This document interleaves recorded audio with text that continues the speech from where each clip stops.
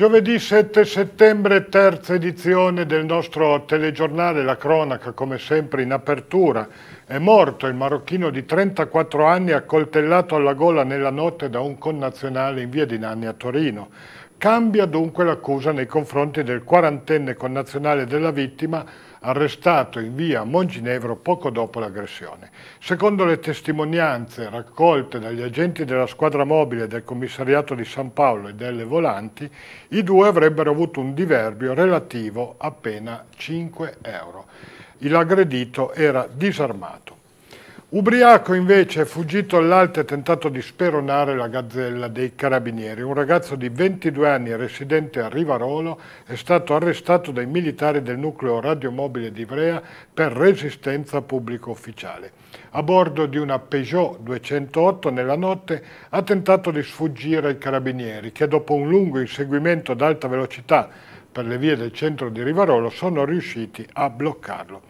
Il 22enne era ubriaco e si è scagliato contro i militari cercando di colpirli con calci e pugni. Processato per direttissima ivrea è stato condannato a otto mesi. Il Tribunale ne ha disposto la sospensione della patente per un anno e otto mesi.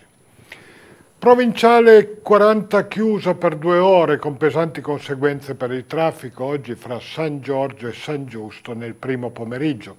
Un pesante mezzo che procedeva verso San Giusto è finito parzialmente nel fosso. Ci sono volute un paio d'ore per riportare il mezzo in carreggiata. Sul posto le squadre dei Vigili del Fuoco di Ivrea e Torino e i Carabinieri. Sono poi stati identificati e arrestati gli aggressori del senatore Alberto Airola. Si tratta di due cittadini di origine dominicane arrestati dalla Digos grazie ai filmati delle telecamere di sicurezza del ristorante La Bottega del Tifoso di via Cremona, a pochi passi dalla abitazione del parlamentare. Intanto Airola è stato sottoposto a un intervento chirurgico nel tentativo di ricomporre la frattura alla mandibola. Lasciamo per un attimo la cronaca, ci ritorneremo perché è stata presentata a Torino la 57esima edizione della mostra della ceramica di Castellamonte. Fino al 24 settembre a Castellamonte torna l'appuntamento di arte e cultura con la mostra della ceramica, giunta quest'anno alla 57esima edizione. La chiave di lettura di quest'anno è Metamorfosi, direttamente ispirata ad Ovidio, e vuole mettere al centro gli artisti locali e la materia prima, cioè la terra rossa, vera e propria eccellenza di Castellamonte, come ci spiega il curatore dell'edizione 2017, il professor Giuseppe Bertero. Raccontiamo eh, le trasformazioni eh, che da sempre sono avvenute con eh, la modellazione dell'argilla eh, di Castellamonte in particolare, ma in genere delle argille di tutto il mondo. Eh, metamorfosi soprattutto riferita quest'anno alla stufa, che parte da quella molto classica, antica addirittura dell'inizio 800, la Franklin per intenderci, il caminetto Franklin, alla stufa eh, più moderna, la stufa Stack, che solo da poco tempo ha avuto questo riconoscimento europeo del compasso d'oro. Pasquale Mazza il nuovo sindaco di Castellamonte da pochi mesi, con grande entusiasmo scommette sulla 57esima edizione della Mostra della Ceramica. Castellamonte può tornare ad essere un nome importante per la ceramica e l'arte e l'artigianato in Italia ma anche in Europa?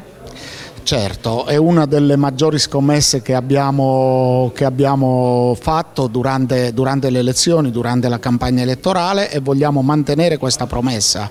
Eh, noi eh, stiamo lavorando e eh, oggi se ne è visto un pezzo, sabato in Piazza Castello ne abbiamo visto un altro pezzo. Noi stiamo eh, lavorando affinché la città si risvegli dal torpore nel quale era eh, caduta, dal punto di vista ehm, da tutti gli altri punti di vista, ma principalmente dal punto di vista eh, dell'arte, della cultura, della ceramica e quindi eh, l'organizzazione di questa manifestazione. Noi due mesi fa non avevamo nulla, oggi siamo, eh, siamo partiti e il 9 inauguriamo una mostra ricca di eventi e soprattutto piena, cioè due settimane, tre fine settimana pieni, pieni di eventi collaterali e una mostra aperta tutti i giorni, cioè un'offerta anche leggermente diversa rispetto a quelli che erano i canoni precedenti.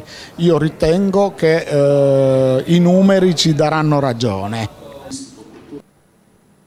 Torniamo alla cronaca, i carabinieri hanno chiuso per 15 giorni il Crazy Bar di Caselle in via Madre Teresa di Calcutta.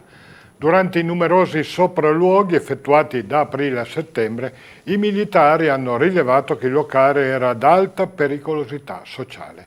La maggior parte dei clienti, con a carico numerosi precedenti penali, sono stati ritenuti potenzialmente pericolosi per l'ordine pubblico e la sicurezza dei cittadini.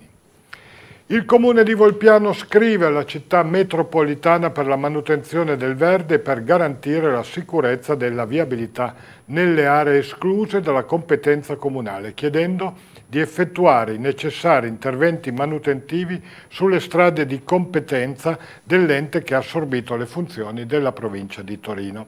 Oggetto della segnalazione è tutta l'area esterna, lo vedete, alla perimetrazione urbana, come ad esempio le circonvallazioni eh, la SP40, via Brandizio e via Lombardore, Corso Europa, via Torino e via Cirie.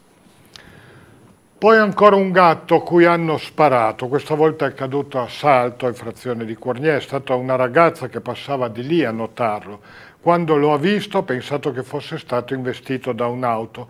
Il gatto era ferito alla bocca. Dopo vari tentativi è riuscito a farla entrare in casa e ha chiesto l'aiuto delle volontarie dell'associazione I Gatti delle Vibrisse che l'hanno indirizzata al dottor Luca Valletto di Forno. È stato il veterinario a scoprire che il gatto, al gatto era stato sparato con una carabina. La mandibola è praticamente distrutta, qui vedete la radiografia, e il tessuto circostante già in necrosi. È stato necessario un intervento chirurgico per cercare di rimediare, ma le sue condizioni sono critiche, non si sa se ce la farà. L'ennesimo caso in poche settimane, episodi vergognosi per cui probabilmente i responsabili non pagheranno mai. Ed è per questo che continuiamo a chiedere a chi sa qualcosa di segnalarlo alle forze dell'ordine. A partire dal lunedì a Chivasso i riferti degli esami di laboratorio, dei pap test e degli esami batteriologici saranno consegnati non più presso il centro prelievi di via Nino Costa, ma presso il distretto di via Po 11, al piano terreno, con uno sportello dedicato in sala d'attesa. Ampliato l'orario di consegna che si svolgerà dal lunedì al venerdì, dalle 9 alle 12 e dalle 13.30 alle 15. Adesso andiamo a Bairo, il fine settimana appena trascorso, che ha visto la presenza di Pat Parelli, istruttore di equitazione di fama mondiale, che l'amministrazione comunale ha voluto omaggiare per aver scelto il canavese per la sua prima tappa italiana del Tour, che lo porterà in tutto il mondo. Un altro orgoglio per Bairo, un ospite mondiale qui. Sì, siamo veramente soddisfatti. Bairo è stato così, diciamo, artefice di tre giorni importanti di centri di equitazione della Rolanda al Quarter Horses, di Brassia Gianfranco, dove ho ospitato per la prima volta in Italia un grande diciamo, psicologo del cavallo, Pat Parelli, e ho seguito con passione diciamo, la sua lezione teorica che ha fatto in apertura la prima serata martedì e posso dire che è un grande comunicatore, è un modo diverso di trasmettere quello che deve essere a tutti gli istruttori di cavalli la passione per questo tipo di, di attività di equitazione. L'amministrazione ha voluto mangiarlo e accoglierlo? Sì, abbiamo voluto diciamo, omaggiarlo perché è la prima volta che veniva in Italia per questo tipo di attività e proprio abbiamo avuto anche avremmo voluto in questi giorni poterlo portare a visitare il nostro territorio, non soltanto Bairo, ma i paesi limitrofi per fargli vedere le nostre peculiarità, ma purtroppo già domani inizia un'altra attività a Berlino, eh, diciamo, in un centro diciamo, di equitazione di Berlino in Germania. E non e non può fermarsi sul nostro territorio più di tre giorni. Questo un po' mi spiace, ma spero che il prossimo anno di poter far replicare alla Rolanda questo tipo di manifestazione, magari ad un livello superiore per tutti i discenti che hanno partecipato a, questo, a questa manifestazione. Ha aperto ufficialmente le porte al pubblico Mondo Juve, situato nell'area compresa tra i comuni di Vinovo e Nichelino, al completamento previsto nel 2020 sarà dotato di una superficie lorda di pavimento di oltre 80.000 metri quadrati. Quello che si mostra oggi alla vista dei visitatori è il primo lotto del parco commerciale, ripartito in due strutture distinte. Elemento unificante è la galleria interna con un centinaio di negozi al dettaglio che attraverso passaggi coperti crea un percorso continuo dall'ipermercato Bennett fino all'area ristorazione. L'opera sarà interamente completata nei prossimi anni. Grande attenzione è stata riservata agli aspetti di ecosostenibilità. Gli impianti tecnologici sono dotati di sistema di recupero di energia, di produzione di energia pulita e di controllo dell'energia consumata, per rendere il nuovo parco commerciale all'avanguardia anche sotto questo punto di vista. L'acqua piovana delle coperture, ad esempio, sarà recuperata accumulata e utilizzata per l'irrigazione delle grandi superfici verdi. Importante anche la ricaduta occupazionale sul territorio.